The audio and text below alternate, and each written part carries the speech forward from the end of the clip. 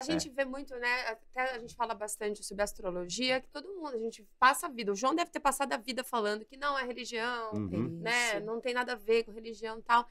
E aí a gente pega uma, uma ferramenta dessa, né? Um, um estudo desse, que também não é ligado.